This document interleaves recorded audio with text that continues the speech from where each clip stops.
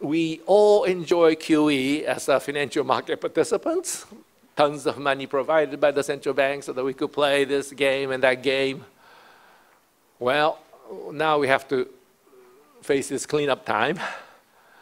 And I was so worried about this cleanup. That's why I was so opposed to QE.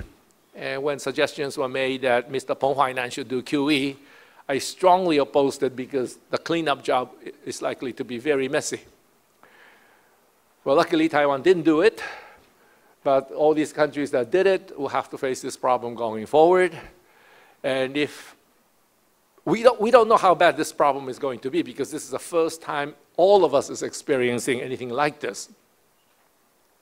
But if it gets really bad, my guess is that central bank will do every other tools to make sure that the money won't come out of the banking system. For example, they might raise liquidity requirements, capital requirements, reserve requirements, whatever requirements, whatever, to make sure that things are contained.